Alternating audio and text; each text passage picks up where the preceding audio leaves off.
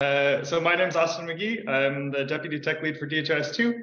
Um, I'll let my colleagues introduce themselves one at a time, and then uh, we'll kick it off with the demo for 239. Lars, you want to start? Uh, absolutely. Hi, hi, everyone. My name is uh, Lars uh, Overland. I'm uh, co co-tech leading with uh, with Austin here at DHIS2. I'm Marta Vila, and I'm the product manager for the Android team or mobile team. Over to Scott. Hello, everyone. I'm Scott Russpatrick. I'm the DHIS2 Analytics Product Manager.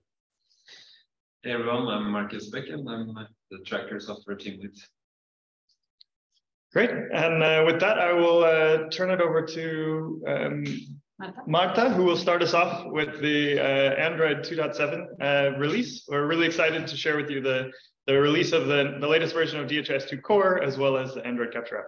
Uh, so Marta, I will turn it over to you. I'm going to turn off my video so that uh, you can focus on the functionality that will be displayed. So I guess um, I'm going to start, but the, the order we will follow is we will start with me uh, for Android, Marcus will follow with trackers, Scott with analytics, and then Lars will present for platform.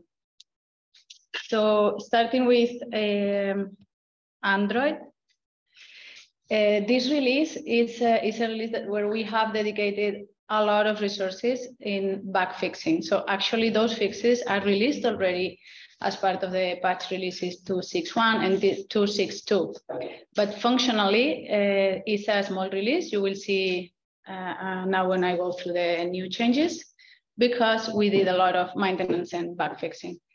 Two things that are probably interesting for this community about that work is that for those of you that use the SMS reporting integrated into the Android app, before you had to go to the to GitHub to get the APK, that actually had the SMS functionality because we had some issues with uh, permissions in Google Play, but we have fixed that. So the app that you download nowadays in Google Play includes the SMS functionality.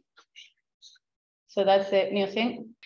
And then another thing we are working on that is still not visible, but there is a lot of work on it, is building a new LMIS module integration to have a dedicated um, data entry flow for the stock management use case that will probably be released in the next uh, in the next version.